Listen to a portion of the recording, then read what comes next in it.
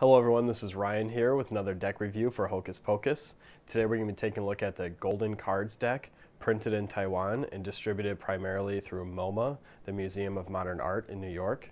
There's not too much information on this deck, so I'm going to take this opportunity to discuss the difference between paper cards and plastic cards, both in how they're manufactured and how they handle. First, let's take a look at the box. This deck comes in a hard plastic case with a cardboard slipcover cover is printed in gold foil and has golden cards stamped across the front and back. The sides are left blank and there's no top or bottom to the cover.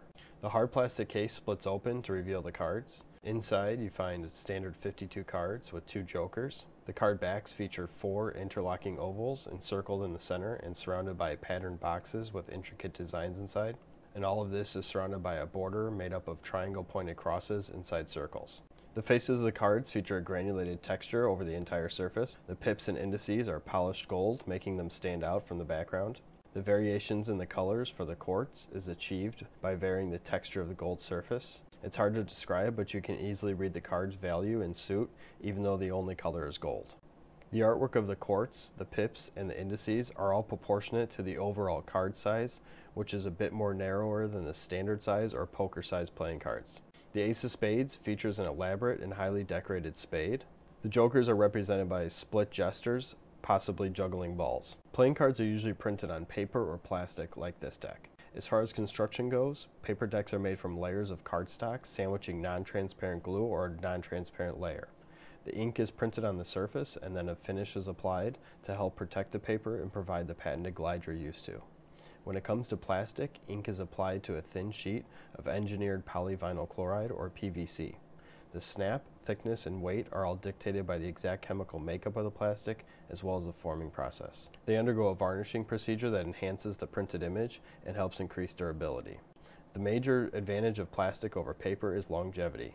Hand oils, dirt, moisture, even spilt liquids have no lasting effect on the deck. Simply wipe the cards off and they handle like new. They also resist creasing. Not to say that they won't bend, but you can take them further than a paper card before a crease appears. Paper's main advantage is the handling and familiarity of feel as well as the variety and popularity. Playing cards, although we refer to them as slick, have a certain level of friction that allows the cards to be gripped easier. The best way to demonstrate this is to squeeze a plastic deck near the ends of its corners and the middle of the deck will slip out a lot easier than if you do the same thing with a paper deck. It all comes down to personal preference. Plastic cards are very flexible and have a very quick rebound. They almost feel soft as opposed to stiff. All the same shuffles can be performed with the same level of ease, although as you know it takes a bit of practice to get the correct amount of pressure for say a faro shuffle, you'll have to relearn that pressure again with plastic cards. The cards are a bit slick, but they still stay in packet forms when doing flourishes. The slick nature can be taken advantage of in flourishes that slide cards past, over, or around other cards. The cards fan decently but will clump until you can adjust to the correct amount of thumb pressure. For those keeping track, the cards measure out to two and a quarter inches by three and a half inches, which is slightly narrower than a poker or standard size deck. The cards measure out to 0.29 millimeters thick and weigh in at 1.723 grams per card. So who are these cards for? Everyone. Give them a try and see if you've been missing out on the modern miracle science of plastics. Game players can add a touch of luxury when dealing out sheets of gold. The collectors can appreciate the bright colors and attractive packaging. The textural look and multi-tone golds add to the appeal. Every cardist should give plastic cards a try for themselves and see if they like them. And considering this deck's flashy color, I can only imagine the attention that will draw in spins, aerials, and fast-paced cuts. Magicians can find a way to add these into a routine as a full deck or even just a single card, and they're slightly thinner and extremely flexible, making them great for back palming and other card manipulations. So if you're looking to expand your personal knowledge of card handling or expand your card collection, you should pick these up.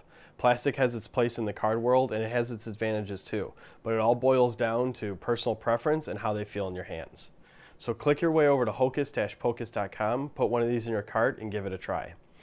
Thanks for watching, and don't forget to check out Zeon's magic trick reviews as well as Luke's cardistry tutorials.